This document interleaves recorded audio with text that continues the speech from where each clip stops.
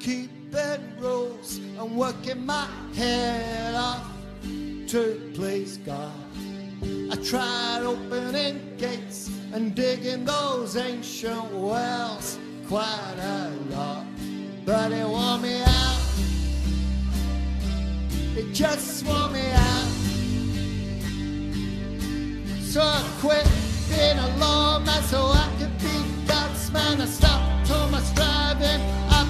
With Christ, with Christ. We are a new covenant people, a royal priesthood, a holy nation, God's special possession.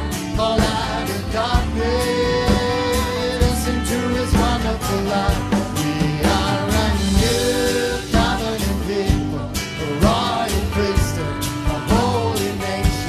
Special possession. Darkness into His wonderful light. I tried pushing through to get up a level or two to please God.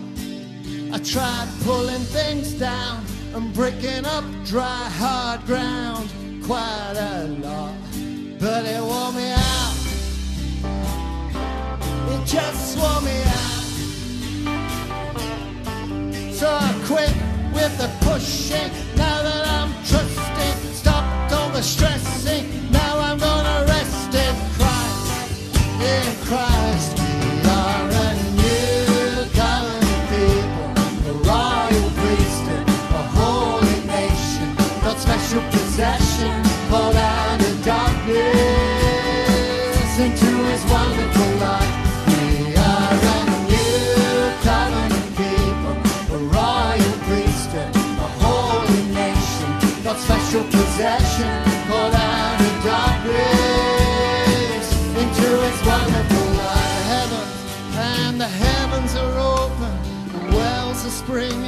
For 2,000 years there's been an outpouring and it's bigger, it's bigger than a series of meetings. It's all